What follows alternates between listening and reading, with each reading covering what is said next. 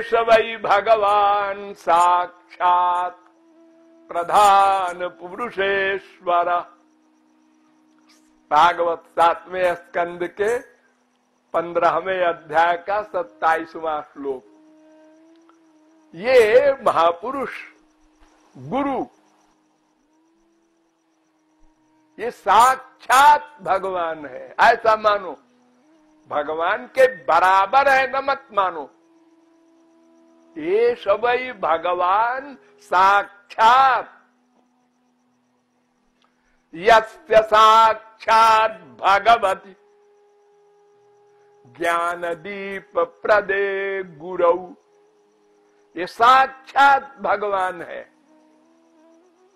आचार्य मिजानी माम नावमन्येत कर उद्धव परमहंस से श्री कृष्ण ने कहा था कि गुरु को मेरा स्वरूप मानो, मेरे बराबर नहीं, दो मत मानो।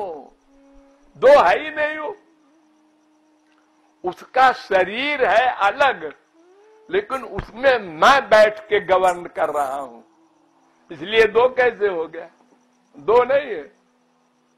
कोई एक हज़ार का नोट हाथ में ले ले और कोई लिफाफे में एक हज़ार का नोट रख के दे दे। बात तो एक है। तो ऐसे ही ये चमड़े के शरीर में भगवान बैठ के गवर्न करता है भगवत प्राप्ति के बाद। उसी को हम महात्मा, महापुरुष, गुरु कहते हैं।